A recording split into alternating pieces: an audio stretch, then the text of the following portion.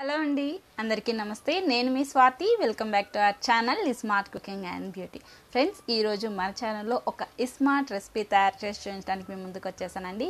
ఇదేంటంటే మా అత్తమ్మ స్పెషల్ రెసిపీ అన్నమాట. చాలా అంటే చాలా. ప్రాన్ కర్రీ అండి విత్ కాజు. సూపర్గా ఉంటుంది చాలా డెలిషియస్గా ఉంటుంది. నాన్ వెజ్ అంటే ఇష్టం ఉన్న వాళ్ళకైతే ఇంకా బాగా నచ్చుతుంది. అండ్ ఈ రెసిపీని మనం వైట్ రైస్లోకి తీసుకోవచ్చు. అలాగే మనకి స్పెషల్ రైసెస్ ఉంటాయి కదా బగారా రైస్ కానీ పుదీనా రైస్ కానీ వెజిటేబుల్ రైస్ కానీ ఏదైనా సరే చాలా బాగుంటుంది. ఇంకా చెప్పాలంటే రోటీ చపాతీలు కూడా అద్భుతంగా ఉంటుంది అనమాట ఇంకా నాన్ వెజ్ అంటే ఇష్టం ఉన్న వాళ్ళు నాలాంటి వాళ్ళు అయితే దోశలకు కానీ తింటారు. నాకైతే చాలా ఇష్టం అండి అండ్ ముఖ్యంగా ఈ రెసిపీ మా అత్తమ్మ రెసిపీ అనమాట అండ్ మా హస్బెండ్కి చాలా అంటే చాలా ఇష్టం. సో అందుకని చెప్పి మీతో షేర్ చేస్తున్నాను. మీ అందరికీ కూడా నచ్చుతుంది. చిన్నపిల్లలు కానీ పెద్దవాళ్ళు కానీ ఎవరైనా సరే చాలా ఇష్టంగా తింటారు. అండ్ మీరు కొంచెం కొత్తగా వెరైటీగా ఫీల్ అవుతారనమాట ఈ రెసిపీ నేను చేసేటప్పుడు మీరు కానీ చూస్తే. సో ఖచ్చితంగా ఫస్ట్ నుంచి లాస్ట్ వరకు స్కిప్ చేయకుండా చేయండి. చూడండి. చాలా బాగుంటుంది. మరి లేట్ చేయకుండా రెసిపీ ఎలా తయారు చేసుకోవాలో చూసే ముందు నాదొక చిన్న రిక్వెస్ట్ అండి. అదేంటంటే మీరు కనుక మన ఛానల్ని ఫస్ట్ టైం వాచ్ చేస్తే ప్లీజ్ సబ్స్క్రైబ్ చేసుకోండి. అలాగే పక్కనున్న బెల్ సింబల్గానే యాక్టివేట్ చేసేయండి ఓకేనా? అస్సలు మిస్ చేయొద్దు. ఇది నా చిన్న రిక్వెస్ట్ అండి. మరి లేట్ చేయకుండా ఇప్పుడు వీడియోలోకి వెళ్ళిపోదాం. ఓకే?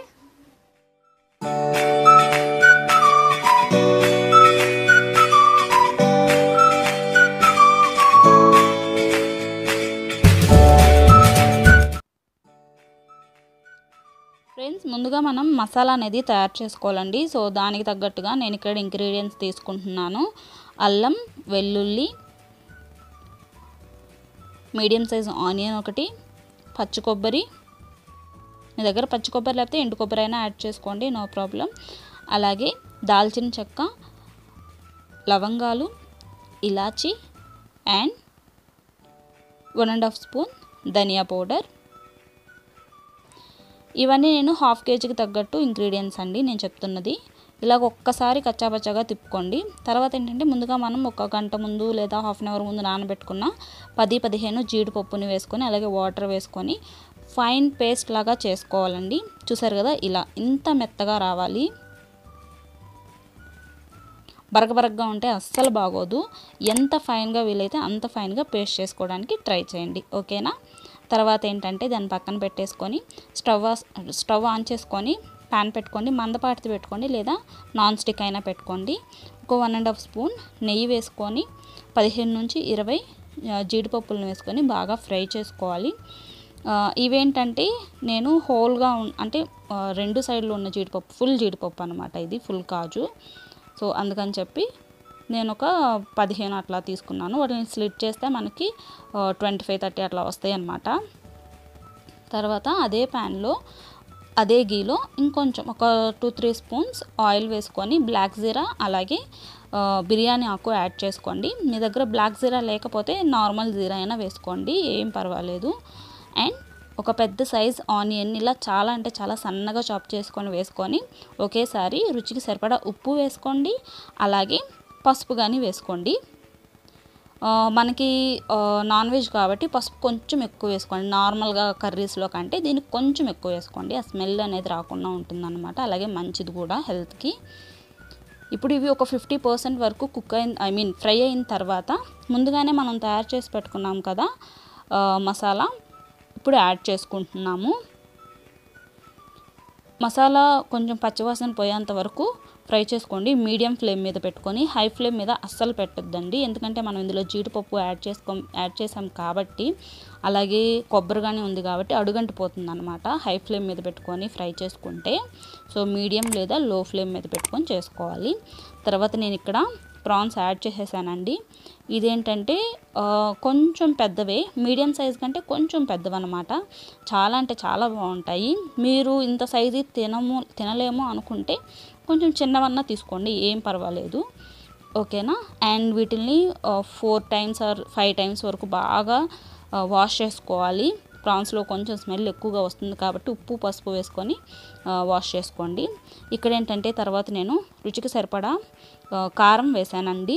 అంటే మనకి నాన్ వెజ్ అనగానే ఉప్పు కారం అలాగే ఆయిల్ అనేది కొంచెం ఎక్కువగా ఉంటేనే మనకి టేస్ట్ అనేది ఎక్కువగా వస్తుంది. అలాగే స్టోర్ ఉండడానికి కానీ అంటే నిల్వ చేసుకోవడానికి కానీ మంచిగా ఉపయోగపడుతుంది అనమాట మూత పెట్టేసుకొని ఒక ఒక ఫైవ్ మినిట్స్ అలా వదిలేసేయండి లో ఫ్లేమ్ మీద. తర్వాత వాటర్ యాడ్ చేసుకోండి. ఒక్క గ్లాస్ అయితే సరిపోతాయి. ఎందుకంటే మనకు ఆల్రెడీ రొయ్యల్లో నుండి కూడా వాటర్ బాగానే వస్తుందండి. సో అందుకని చెప్పి వాటర్ కొంచెం తక్కువ యాడ్ చేసుకోండి. చూసారు కదా అసలు కన్సిస్టెన్సీ ఎలా ఉందో ఇప్పుడు నేను వాటర్ యాడ్ చేసినాక. ఇలాగా. ఇప్పుడు ఏంటంటే ఇందులో మనం యాడ్ చేసుకోవాల్సింది పచ్చిమిర్చి. నేను ఒక నాలుగైదు తీసుకున్నాను. అలాగే ఇలా మధ్యలోకి స్లిట్ చేసుకోండి. అంటే మీ టేస్ట్కి తగ్గట్టు. మీరు కొంచెం ఎక్కువ తింటారనుకుంటే ఇంకా ఎక్కువగానే యాడ్ చేసుకోవచ్చు. తర్వాత మూత పెట్టుకొని సిమ్లో ఒక ఫోర్ టు ఫైవ్ మినిట్స్ తర్వాత చూడండి. ఇలా మనకి ఆయిల్ పైకి రావడం జరుగుతూ ఉంటుంది. ఐ మీన్ ఫ్లోట్ అవ్వడం స్టార్ట్ అయింది కదా ఆయిల్ సో మధ్య మధ్యలో ఇలా కలుపుకుంటూ ఉండాలండి. మూడు నాలుగు నిమిషాలకు ఒకసారి లేకపోతే అడుగంటిపోయిద్ది ఆల్రెడీ నేను చెప్పాను కదా జీడిపప్పు అలాగే కొబ్బరి వేసుకున్నాం కాబట్టి కింద అడుగంటిపోయే అవకాశం చాలా ఎక్కువగా ఉంటుందన్నమాట. సో అందుకని చెప్పి మధ్య మధ్యలో మీరు మూత తీసుకొని గరిటతో తిప్పుకుంటూ ఉండండి. తర్వాత ఇక్కడ నేను యాడ్ చేస్తున్నది కరివేపాకు అండి. చాలా అంటే చాలా ఫ్రెష్గా ఉన్న కరివేపాకు వేసుకోండి ఈ స్టేజ్లో. అంటే ఒక సిక్స్టీ పర్సెంట్ వరకు అయిపోయింది అన్నప్పుడు చాలా బాగుంటుంది. ఓకేనా? అండ్ ఇక్కడ చూడండి మనకి ఎయిటీ పర్సెంట్ వరకు కుక్ అయిపోయిందండి కర్రీ. ఈ స్టేజ్లో ఏంటంటే రెండు మీడియం సైజ్ టొమాటోలు తీసుకొని మీ చేత్తోనే నీట్గా మ్యాష్ చేసుకొని ఆ జ్యూస్ ఆ ప్యూరీ వరకు వేయండి. పైన వస్తుంది కదా మనకి వేస్ట్ అంతా తొక్క అదంతా అదంతా తీసేసేయండి. అది వేయొద్దు. ఓన్లీ ప్యూరీ వరకు వేసుకోండి. ఇలా ఎందుకు వేస్తున్నారో నాకు తెలియదు. ఇది మా అత్తమ్మ రెసిపీ కాబట్టి ఆవిడ ఇలాగే చేస్తారు. సో ఇలా చేస్తేనే మా హస్బెండ్కి ఇష్టము. అలా చేస్తేనే దానికి టేస్ట్ కానీ వస్తుందన్నమాట. ఓకేనా తర్వాత ఏంటంటే ముందుగా మనం ఫ్రై చేసి పెట్టుకున్నాం కదా కాజు అవి యాడ్ చేశాను ఇక్కడ. అంటే ఎయిటీ పర్సెంట్ అయిన తర్వాత కాజు అలాగే టమాటో ప్యూరీ అనేది మనం యాడ్ చేసాము కాజు ఈ స్టేజ్లో యాడ్ చేయడం వల్ల ఏంటంటే మనకి మెత్తబడకుండా ఉంటుందన్నమాట. చాలా క్రంచీ క్రంచీగా భలే ఉంటుంది.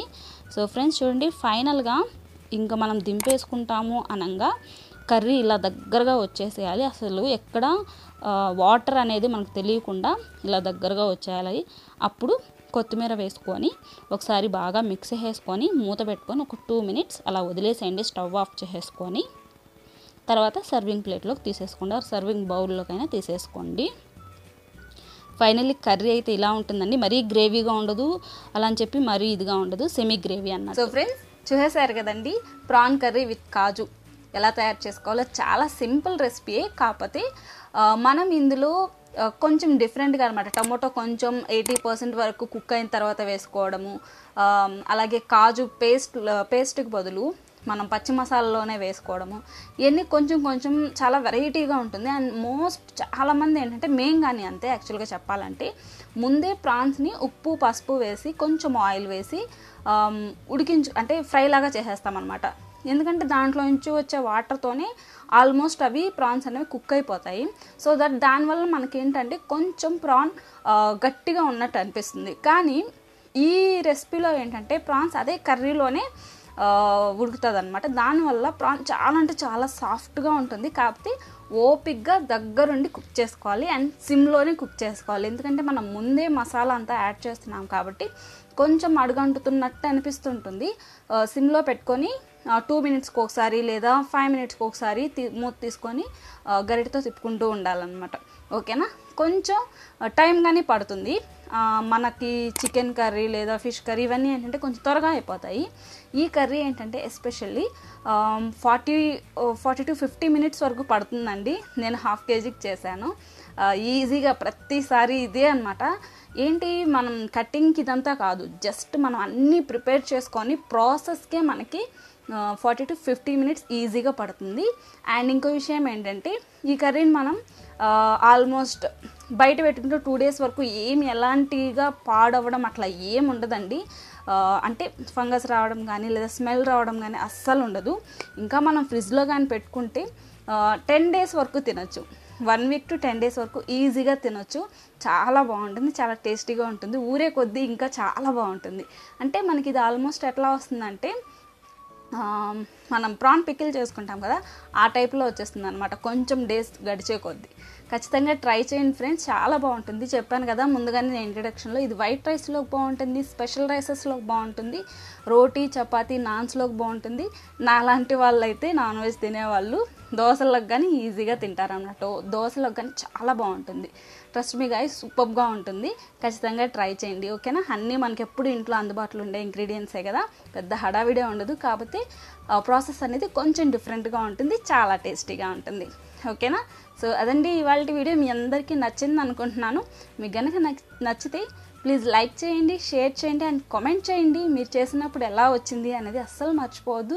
అండ్ మీకు ఇంకేమైనా వెరైటీ రెసిపీస్ కావాలంటే నాకు కామెంట్లో చెప్పండి. ఖచ్చితంగా చేస్తాను. నెక్స్ట్ వీడియో అది వచ్చేలాగా చూస్తాను. అండ్ మీరు కనుక మన ఛానల్ని ఫస్ట్ టైం వాచ్ చేస్తుంటే ప్లీజ్ సబ్స్క్రైబ్ చేసుకోండి. అలాగే పక్కనున్న బెల్ సింబల్ కానీ యాక్టివేట్ చేసేసండి.